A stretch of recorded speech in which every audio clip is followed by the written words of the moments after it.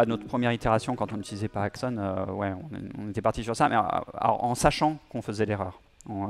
C'est-à-dire qu'on a, on a accepté de faire l'erreur, on a accepté qu'on ne maîtrisait pas encore les concepts, et on a, entre guillemets, lâché prise à un moment donné parce que euh, bah, comme tu disais, il y, a, un challenge humain et euh, il y a un challenge technique. Et, euh, en l'état des choses, on ne voulait pas se battre sur ça. Hein, parce que, encore une fois, cette notion de terminologie, ça signifie aussi qu'il faut que toute l'équipe soit embarquée dans, dans, cette approche-là.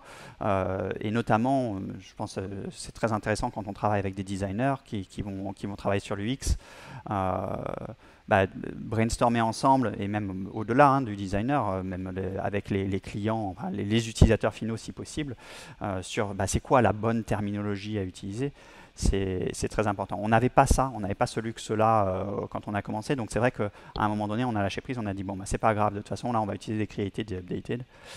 Aujourd'hui, pour être très transparent, on utilise à quelques endroits des updated et des created, que mais pour des, raisons euh, assez claires que c'est vraiment des updated et des created. Par contre, euh, dans le sens où les updated et created, pour moi, ça veut dire que tu as, envoyé une, une, grosse création de quelque chose, et c'est généralement une approche plutôt technique d'ailleurs qu'une approche business, euh, et tu en, en, es arrivé au bout et tout est terminé.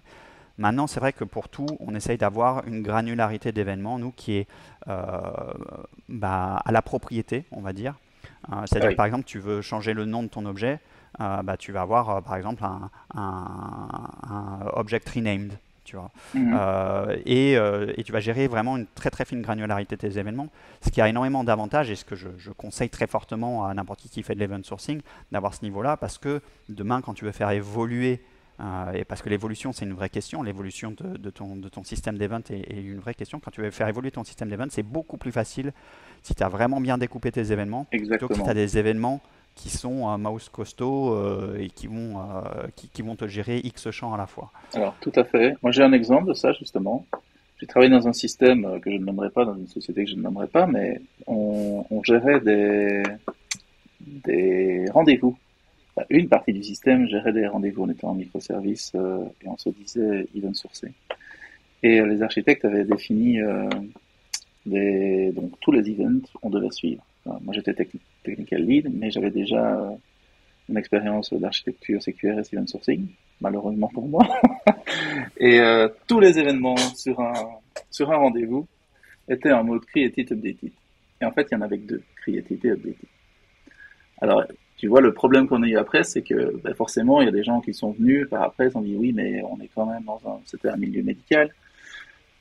On a envie de savoir euh, combien de fois on a annulé, par exemple, euh, un meeting parce que c'est, vraiment important pour les statistiques. Est-ce qu'il y a, il y a un problème de ressources Est-ce que les, les, médecins sont trop, trop occupés Donc, on aimerait bien savoir.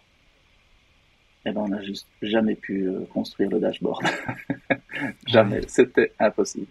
Et donc, c'est là où je, j'en discutais, j'ai dit vous allez avoir des problèmes pour créer les dashboards. Bon, voilà, quand on a ils ont fait trop de code malheureusement. Et, euh, et le besoin de dashboard est arrivé genre trois mois après. Et là, j'ai dit voilà, ça c'est l'explication que vous n'avez pas compris. Je pense qu'il y, a vraiment deux notions là qu'il faut avoir en tête. C'est bon, le, le nommage à la limite, on peut se foirer sur le nommage, mais au final, c'est vraiment la structure de ces événements qui, qui, est très importante. Le nommage va te pousser, généralement, c'est vrai que les, les, updated vont te pousser vers une structure qui va être mauvaise dans le sens où un updated, généralement, tu as tout dedans.